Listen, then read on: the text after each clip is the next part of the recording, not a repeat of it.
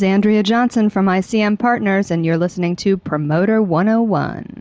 Welcome back to the Promoter 101 podcast. I'm Luke Pierce, back from my journey, and happy to be back on Promoter 101 with my partner in crime, Mr. Dan Steinberg. Welcome back, Luke. We just have a dandy of a show this week. True that, Dan. We're going to have Coda's Alex Hardee here to give us his take on the industry. Plus, we've got a war story from Belgium's Gracia Live, Sam Perl. And of course, you're going to have the news of the week. So, action packed episode. That it is indeed. And before we get to that, Dan, if we can believe social media and all the photos swirling around it, you look like you had a great time across the pond at London at ILMC. So much fun. ILMC just gets better and better every year. What a great hang. Can I ask you this, Dan? I saw a photo of you moderating the agents panel, which was star studded to say the least. ILMC every year takes a themed situation to its conference. Last year it was life on Mars or like the outer space. This year, being the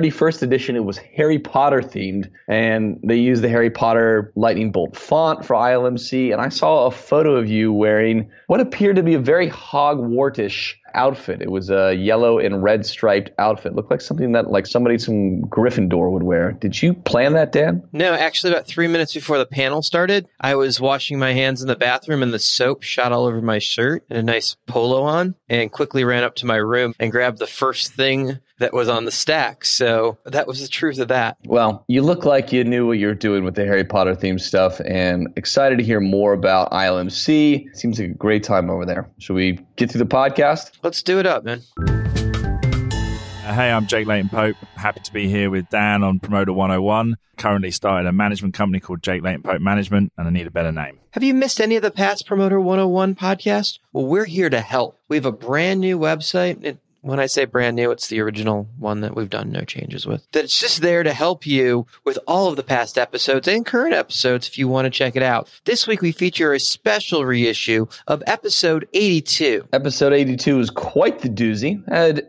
Dave Shapiro on the podcast joining us to talk about the heavier side of rock. Also, Aiken Promotions, Peter Aiken enlightens us about the rougher times in Ireland and the history and the current stage of the business. And we also had joining us from Aspen, Colorado, the autograph source's Rick Schultz stopping by to blow our collective minds about the world of collectibles. But AC Ted Heineck joins us for three questions. So, hey, if you're not too busy, drop us a review of this podcast or subscribe to Promoter 101. That would be fantastic.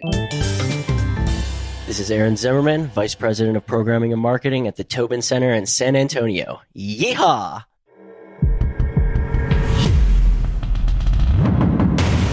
News of the week. So here is Luke Pierce joining us now with the updates of news of the week. It's time for news of the week. In a crazy two weeks it has been since the last time I delivered news of the week. A lot has been happening, but I want to start with a very important story, one regarding streaming giants and songwriters. Last week, Spotify, Amazon, Google, and Pandora joined together in a legal appeal to the 44% increase in payments to songwriters that was set last year by the United States Copyright Rate Board. The increase, which was only the second increase in more than 110 years for songwriters, was nearly universally heralded as a win for songwriters, but is now being challenged by the streaming giants, with a notable exception. Apple Music chose not to join the challenge in the rate increase. The move, of course, sparked inflammatory responses from David Israelite, the National Music Publishers Association, Prexy, and songwriters, publishers, lawyers, and artists the world over. We'll have to stay tuned to this event, but I want to say to the yous out there listening, for those of you who support songwriters as important members of the creative community and important creative partners, please consider moving your music over to Apple Music and streaming off of Apple Music until this rate resolution is dropped. Thank you. Bowery, again, making moves to complete the vertical in Boston. Bowery Presents announced on Wednesday plans to construct a brand new 3,500 cap venue in Boston Landing's development in the Brighton neighborhood opening in fall 2021. The venue will expand Bowery's venue ownership and footprint, including the 220 cap Great Scott, the 525 cap Sinclair in Cambridge, and the 1200 cap Royale, in addition to its booking interest in clubs and theaters throughout the area. Said friend of the pod and VP of Boston, Josh Bhatti, the Bowery Presents is a rich history of developing artists and offering fans great live music experiences from small to large venues. We're excited to bring our passion for developing the best venues for artists and fans alike to the Boston Landing. Boston Landing is currently home to the New Balance World headquarters, the Boston Celtics and Boston Bruins training facilities, and companies like Boston Dynamics and Roche Diagnostics. And finally, some news from Music City. WME is winning again as Bobby Cudd, friend of the pod and lover of soups and hot chicken, joins WME's Nashville office. Bobby brings a roster that includes Dave Rawlings, The Doyle and Debbie Show, Gillian Welch, I'm With Her, Junior Brown, Kasey Chambers, Old Crow Medicine Show, Robert Earl Keen, Ricky Skaggs, Sarah Jarosz, and more to the Nashville agency. Previously, Cudd was the sole remaining agent at Billions Agency, which has seen its Nashville office lose agents to Paradigm and WME over the last three years. Prior to that, Cudd spent nearly three decades at Monterey Peninsula Artists, which later became Paradigm. That'll do it for News of the Week.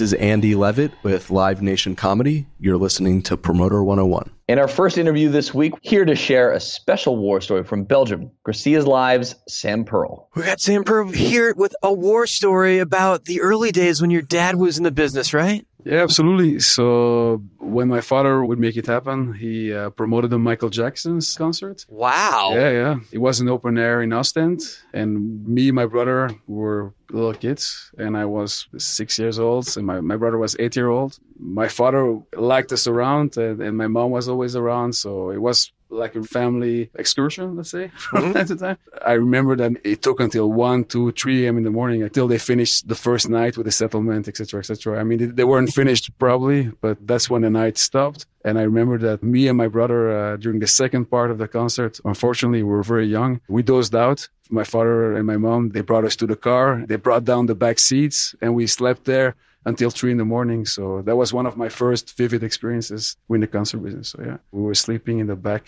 of the car, and while Michael Jackson was singing as well. So yeah, Oh, not, wow. not something I'm proud of, but we're young, so very young. You're ashamed that you didn't stay awake to see Michael Jackson when you were a yeah, little we kid? were. Yeah, we didn't have a lot of conscience back then. I mean, yeah, we didn't you can't blame yourself for that. But you were there. You got to see the mass scale of Michael Jackson. so how cool is that? That was one, and, and he always took us to shows. So uh, yeah, What's the coolest show that you got to see when you were a kid that your dad promoted? But it must be Prince.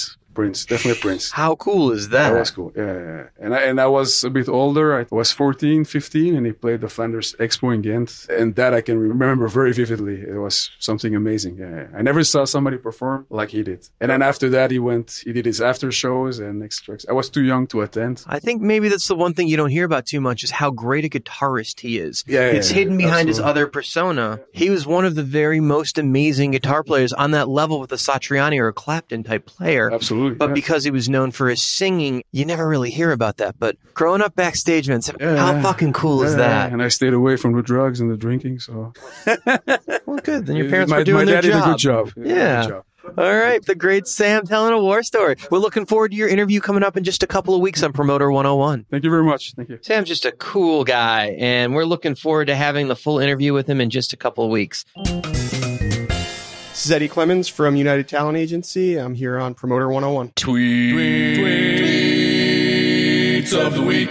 Hey, you've made it this long enough. It's time for Tweets of the Week, a great Thursday tradition. Let's start here. Agents tend to choose the promoter of least resistance. So hopefully that's me. There's nothing you can't do with a budget and a Google search. The power of the internet and throwing money at a problem can just fix damn near anything, Luke. That's the truth. You never know how deep the other guy's relationships and checkbooks run. Well, until it's too late anyway. That'll do it for some tweets of the week. You can always follow Dan on Twitter. He's at the Jew. Don't follow too closely.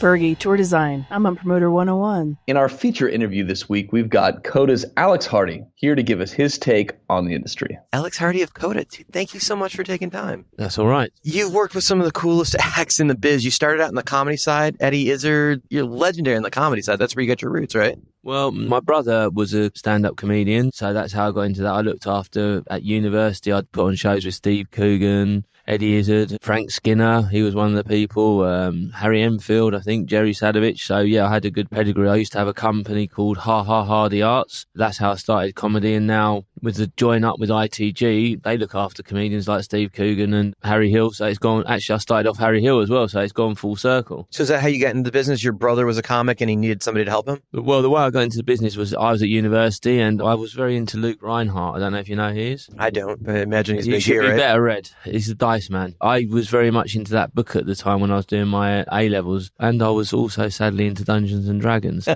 didn't know what I wanted to do because I was quite good at O level level. Before I discovered um, drink and drugs, I sort of was a straight A student, so I had a choice between the science and English. And I just wrote down all the courses and rolled a 20 sided dice. And I got aeronautical engineering, which I absolutely knew nothing about. So when I was at university, I realised I was in a class doing a degree and I got through two years of something I had absolutely no interest in whatsoever. You picked your subject in college by rolling a 20 sided dice to pick which subject just randomly you were going to take. Yeah, yeah, I did. That's amazing. I also used the same technique. I didn't really research it of which university to go to and what halls of residence. So I put down three halls of residence. One was St Gabriel's Hall, which because I liked Peter Gabriel at the time, and then I got a letter back saying you do realise this is a girls' halls of residence. One of them was called Hardy Farm, which was my second name, so I ended up there, which was another bad choice because that was ten miles out of the city centre. Yeah, but I just was very bored, so I started putting on comedy nights. Started up something called Northwest Comedian of the Year, which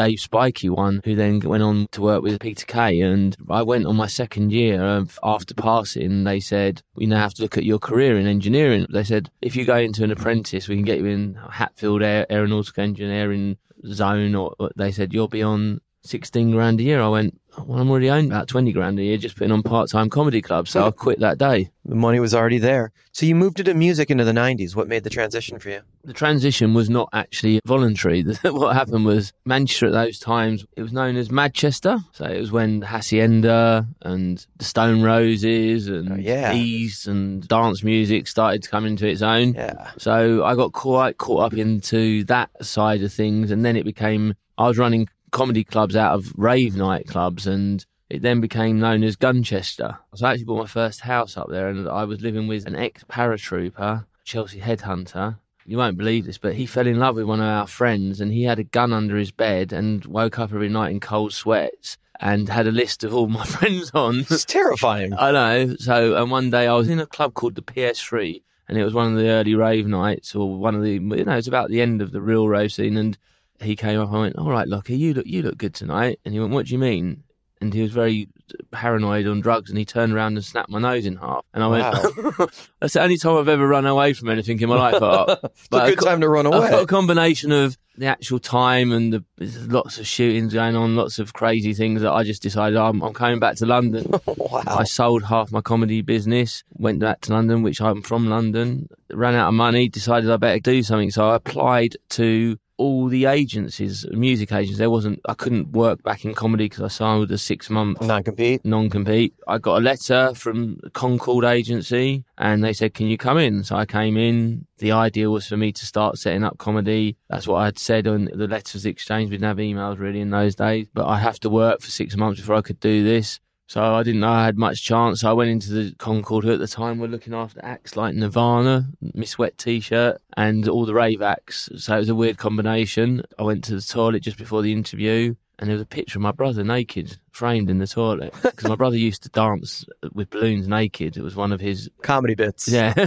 So I went up to the interview. I went to Louis Parker. I went, "Why have you got a picture of my brother in your toilet?" And he went, "You're Malcolm Hardee's brother. You got the job." Who you know, right? There you go. So there was a tie to Roni Size too, right? Yeah, Roni Size was one of my first. So Concorde, I went in there initially with an eye to go on to comedy. But as I got into music, I realised when I was doing comedy, you just travelled around England. When you do music, it's universal. So there's no language restriction, which I enjoyed a lot more at that time in my life. So I stayed in music and Rave had come down to London and I enjoyed the Prodigy. Sadly, Keith, um, who Prodigy we look after, sadly, Keith a few days ago passed away they were the sort of bands that all of us worked on the same acts and we just booked all the same raves. It was a very different business from now. But then it's mutated into the drum and bass scene. and I picked up Roni Size, and you know that's how I learned the game of hard tickets and route and proper tours because he won the Mercury Prize. He started selling out big venues,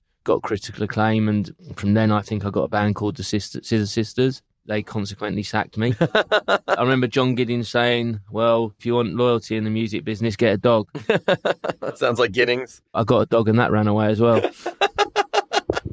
Oh man, that's terrible, but it's awesome. How did the Coda thing come? You obviously jumped from Concorde to Coda at some point. No, what happened was Solomon Parker, who's Louis' son, he now was from William Morris. He was the vice president of William Morris. He's at Coda now, and Chris Hearn, who was at primary. So we all started together. There's about an 18 year passage, and now we're all back together again. That's kind of an awesome reuniting. I know. I had to leave Concorde. I mean, I showed Solomon, I've still got my first invoice, and I had to do other sort of maybe not so legitimate things when I was an agent to bring with to uh, manage to survive in London. Um, we used to only invoice a third of whatever we earned. That was a system, no Mhm. wage. Killed what you eat. Yeah, well, that was how it worked. So, like, my first invoice, I think, for the first three months was, you know, sixteen hundred pounds, which is For three months. yeah. so tight. and no wage. So I couldn't carry on. You know, Concorde, I Louis taught me everything. You know, all the basics I knew, but it wasn't. Even in those days, when it was out of William Morris or a CAA, it was a boutique agency. It actually got a lot bigger when I left, and they started getting some. But it was more of a PA and nightclub, and as I said, wet t-shirts, and you don't really have these anymore. But it was like a cabaret stroke music agency. Nirvana, when I went there, was our biggest client, but they they'd left, so we just did rave acts. And it was after I left that they got some more legitimate acts like East Seventeen and Westlife, I think, and it wasn't a place that I could really become an agent. And so I approached MPI, which was Miracle Prestige International, which had Phil Banfield and Steve Parker, who runs Audience now. They had a massive advantage over Concorde. They were actually going to give me a wage, which seemed very appealing at the time. Money would be helpful living in London. I mean, I, I quite pride myself on being very straightforward and honest. And, and Chris Hearn, who works with us now, you know, I said, look, we have to leave on the 31st of the month because I have to put that last invoice in. Otherwise, I can't afford to like Right, pay you my gotta rent. paid. Yeah. So I said, look, Chris, we'll all go up and leave together. But Chris actually crumbled under the pressure of this on his head and left five days before we were all meant to leave. Started the pieces in motion, huh? Well, yeah, but the worst thing was that Louis, who I greatly loved and respect, and he then sat me down and said, Are you planning to leave as well? And I never try and make these really big lies in life, but I had to say to him straight in his face, I'm not going to leave because I couldn't, I couldn't eat if I didn't. So I sort of regret that to this day. But But you needed to get paid so you could. well, I literally survive. needed to get paid to to pay my rent, so I wasn't homeless. So yeah, You're between a rock and a hard place. yeah. So I went to MPI. Then Steve Parker and Phil Banfield fell out, and was another position. Do you want to come with me, or do you want to come with me, you? So Phil Banfield had Sting, Steve Parker had 10cc. At that point, I thought I better go with the one with the bigger axe. And then Chris Hearn, who we mentioned earlier on, he was came with me, but he got poached by Primary, which was a big new. At that point, there was a very big agency. It was like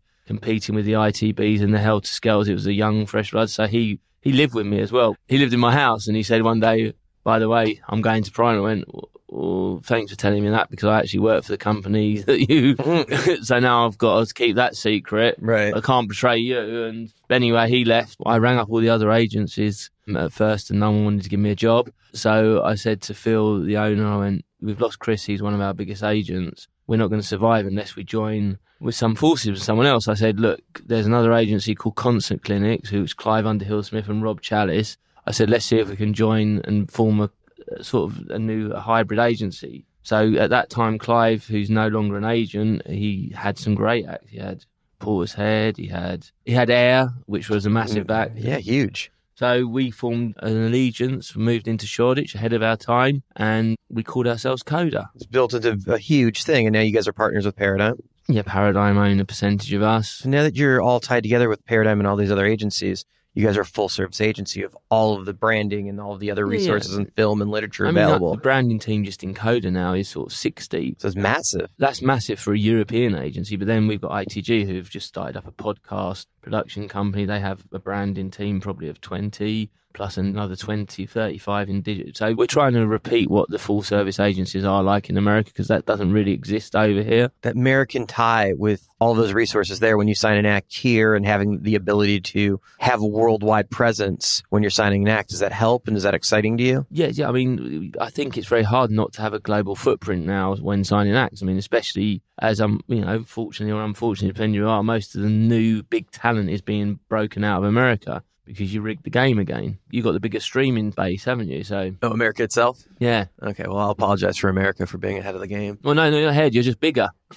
if you're bigger, then you've got bigger playlists to start your acts off, haven't you? Yeah, it's just a numbers game at that point. Well, that's what it is now, isn't it? Like breaking acts and nut- what do people look at? They look at streaming and Instagram. So is that the future of the business? Is the numbers and the size you think is it such a global game? I, things change and you never know. I don't see how it can't be now, you know. I'm just worried about the next step is when you have AI and biotech and then they start getting algorithms to write all the songs because they're better than humans at doing it. But see what happens. I hope that we don't, we don't get machines writing songs that are charting higher than humans. That would be a bit sad, won't it? It would be a little weird for sure. So you've been on both sides. You were an independent. Now you're at a fairly major agency, top six agency in the world. Do you think it's possible to start an independent boutique agency now and compete with the big boys? Yeah, well, we are competing because I mean, in Europe, I mean, I'm based in Europe, so in America, I think Paradigm is sits now musically in the top three, doesn't it? Top three, top four, something like that. Yeah. Yeah, but we're all everyone including and Paradigm. It's all come from a. We've all been entrepreneurs, so I think that entrepreneurial spirit still runs through the company, and we can get big, but we don't want to become so corporate that people can hide. Everyone's visible, and you know that entrepreneurial spirit still exists and is driving it. You know, Paradigm was a Little Big Man, it was Monterey, it was Windish, it was AM only. It's always been lots of different entrepreneurial units that have been pieced together, and that's still how the company functions. So it, is different, maybe, from working at a William Morris or a CIA, I think. Okay, so you've got this new world where it's a global world and you're competing with agents when you're signing acts that have all of these tools in their toolbox. Is that something that all the artists want to see now? Is the ties to branding and literature and maybe film? Is that is that now part of the normal conversation? Depends on which act, and you know, I always start. I say, look, we've got a brand, we've got a literary team, we've got a film. We, you know, we have some of the best directors in the UK in ITG. We have a branding team, but we're sitting here at the beginning, and it's all about music, and it, no real brands will want you until we build your brand in music. So the music has to come first. You know, you're not going to be offered a film part after your first track you released on streaming. It's very unlikely, no matter what we can do. So if you want all those things and you're a musician firstly, then let's we have to build that side of your career first. Do you think that's an important part of the signing process? Is managing the expectation of the artist? Yeah, I mean, you have to management managing artists and managers uh, sometimes expectations is the most important part. You know, it takes a long time to break an act, a lot longer, and you can't just throw money at it. So you're not going to just walk into my agency and be suddenly an A-list Hollywood celebrity film star. That's not doesn't happen. We have agents who do that, but we have to build something. We have to have a plan together. You know, and mo- hopefully most people who come in anyway, their first career is music. When I see them, if we can flip it over, if there's a spark, if there's something there, then we have that facility now in the agency. If there's brands deals are starting to be interesting, we have people who know how to negotiate that. But you know, you have to create something. The people that brands don't usually pluck an, an unknown out of the middle of nowhere and say, "We want you to be your brand ambassador." You have to create. You have to have a plan of how you're going to get the brands interested, and that's what we can do. When you're signing an act, what's the first thing that catches your eye? Is it the music? Is it the live show? Well, unfortunately, you don't see many. that was how it used to work. I'm more likely to go to a studio and listen to music because there's not that many bands out there, and there's not that many hot gigs you go down to see. And there's every A and R person in. People write with other writers, so it's in my world. What I do is mainly pop music, so it's mainly not going to come from a local gig or someone. I can't remember the last act I've signed at seeing them live. It's usually from getting music from producer and manager, a record label. I actually miss the days of seeing that buzz gig and everyone's down there and you see everyone looking shitting themselves because they don't know who's got it. It doesn't really happen so much. I mean, there was So it's a, more there- about who you know and be, being in the mm. network that, that that stuff's getting offered yeah, to you. so- yeah, I mean, you know, there was a band called Joseph, I think, that a lot of people went up to Glasgow last week. That was the last one I heard everyone chasing. You know, that that used to be happening four times a week. You'd be at gigs looking for bands like that, and everyone would be in the same venue. But it doesn't really happen so much anymore. You know, there's not so many bands in just full stop, isn't there? When people can write on Logical on their own, why do they want to be held up by four of them lesser talented mates? that band camaraderie and getting into a, you don't need to go you don't need a bass guitar player and you know so a lot of people who can write songs will just write it on their own won't they and then when they perform live then they bring a band session musicians in Big fight seems to be who has the power now with the tour deal becoming available on every level, with AEG and Live Nation both offering earlier and earlier and younger tour deals. So is it the tour promoter that's the power, the agent, the manager? Who has the power? Well, I said on the panel with Live Nation, I mean, Live Nation have a lot of power at the moment. They're buying everything. But I said, you know, like was with Phil Bowdery was on the panel. I said, you're in a very powerful position, but when you have power, you're like a hammer. And if you start looking at everything as a nail, then that's when you fuck up. So you have to have some humility with power. You know, at the moment, the other AEG and the other promoters, they need to sort of get their act together against Live Nation because their their portfolio is so big of festivals. But I don't understand unless you need money or unless you're worried about your commission and you can get it in advance, why you sign yourself to one. I don't understand why you want to would never want to be a free agent in life if you don't have to be. So if you decentralize the dates and as the agent you can do that because you have those skills, you can keep the control. Yeah, and but what you know, just in life, if you didn't have to sign a record deal, sometimes if you had that choice that someone gave you money and you didn't have to be tied up, you'd always be a free agent. Being a free agent where you can accept offers or you can look at everything and then go, that's my choice. Give you the flexibility to do other it's things. Never, it's, there's never going to be a better scenario than that. You know, you don't ever want to tie your, in any walk or business or any life, being a free agent is the best situation. Before I let you go, can you give some advice from agents coming up behind you in the industry on how to succeed? I would say you need to have a good grounding knowledge of music. It surprises me how sometimes I put out support to her and the suggestions I get back are so irrelevant that I can't understand that people don't have that basic grasp of this is this type of music, this is this type of music, that won't work with that. No, please don't put some left field electronic thing to support a pop show, yeah. Well, just really things that you just can't believe that there are some agents out there that don't have that grasp, but you know, just have a grasp of where things sit and yeah, I think fairness is like not what it used to be like being an agent, but you want to work best for your bands, but it's a symbiotic relationship. Like all all, all deals, things work if both people win in the scenario. If everyone's losing all the time, then it doesn't win. So, yeah, it won't go on forever if everybody's yeah, losing. So you have to look at the wider thing, and you know, so you're like a flea on a dog. If you drain that dog too hard of blood, it's going to die. Thank you so much for taking the time and talking to me. I truly enjoyed this. No problem. Alex is possibly the most entertaining interview we've ever had. It's just really cool to get in the room with him and just see how he thinks and processes. And you can clearly see that he's just on a whole different level. Hi, I'm Leslie Olenek from Live Nation Touring, and I'm on Promoter 101. That'll do it for this episode of Promoter 101. Got to give a special thanks to everybody listening to this podcast, to our guest, Coda's Alex Hardee, and Receipt Lives, Sam Perl. If you liked what you heard here, let us know about it. Send us a note. It doesn't cost you anything. You can hit us at Steiny at Promoter 101. We'll be back Monday at 5 p.m. Pacific time, 7 p.m. Central, and 8 p.m. on the coast. And that's midnight London time, y'all. Join us on Monday when our special guest is United Center's Jerry Goldman. Until then, we're wishing you sold out shows for the week to come. Cheers. Call your mother. This is John Giddings, and I'm on Promoter 101.